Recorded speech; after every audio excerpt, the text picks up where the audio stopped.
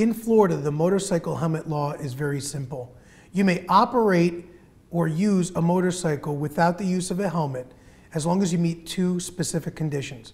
One, you must be 21 years of age or older, and two, you must have a minimum of $10,000 in medical benefit coverage.